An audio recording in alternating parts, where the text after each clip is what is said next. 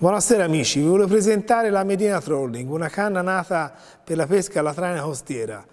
Molto robusta e affidabile, anche dolce nell'azione, quindi acconsente combattimenti anche con prede importanti, c'è un fusto abbastanza importante ma è tutta dolce come canna.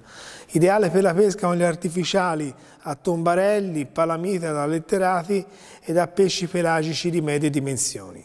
È costituita da un monopezzo unico, un'impugnatura in neoprene e, da, è praticamente una crociera da combattimento.